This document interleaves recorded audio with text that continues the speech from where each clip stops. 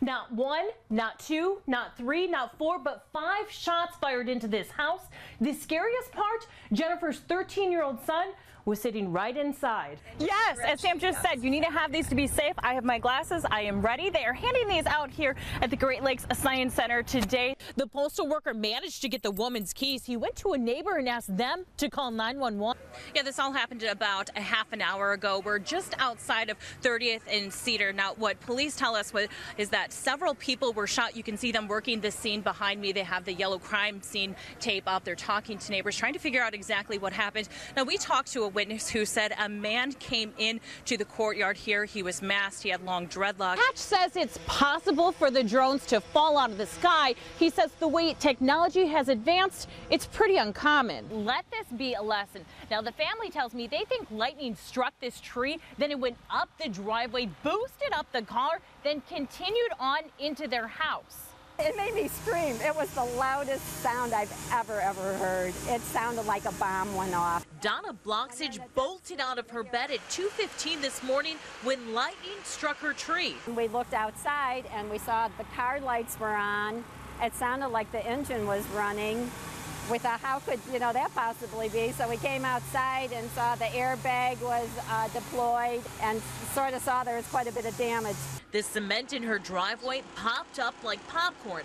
The current was so strong, firefighters told Donna it likely blew the car off the ground, slamming it back down so hard the tire blew. It made everything sort of explode, even you know down farther in, on both ends of the driveway. Um, it took out our garage door opener. A water main just at the edge of the driveway also blew. No one can say for sure if it was related, but Cleveland Water tells me it has never happened before, and they're looking into it. The current also spread into Donna's home. I saw a little part of the front room carpet had started burning. And the lightning strike was so powerful, it actually blew out some of the outlets and light switches. You can see the charred marks from where it burned the wiring. It could have started a fire, um, and that would have been devastating. Yeah, the family tells me they are really lucky it wasn't any worse. Of course, now they'll have insurance adjusters and electricians stop by the house. And they've also had neighbors stop by, drop off bottled water, and check in on them just to make sure they're okay.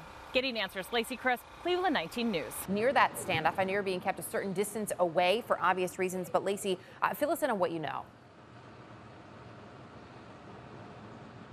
Yeah, and actually, they just moved us back not too long ago, about another block away from where the house actually is. If you can see uh, down the street, the SWAT team, U.S. Marshals, Cleveland Police have all been on the scene a little over three hours. Now, they are looking for Tommy Griffin III. He is a former Cleveland police officer. He was arrested back in January for assaulting, kidnapping, and raping a woman. He is set to go on trial on Monday, but on Saturday, he cut his GPS ankle monitor and hasn't been seen since. Now, I spoke with his daughter yesterday. He was staying with her. And when she left for work on Saturday afternoon, she said she talked to him. He said he was going to make pierogies for dinner. So she had no clue that he was going to take off. She said his car was still in the parking lot of her apartment when she got the call saying, Hey, do you know where your dad is?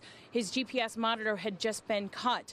Fast forward to today, about 11 o'clock, we got a call from the U.S. Marshals saying that they had a house surrounded. Potentially, Griffin was inside. Now, on scene, we have been able to hear uh, from the bullhorn police saying, you know, come out with your hands up. Can you at least come to the window, wave, let us know that you're okay?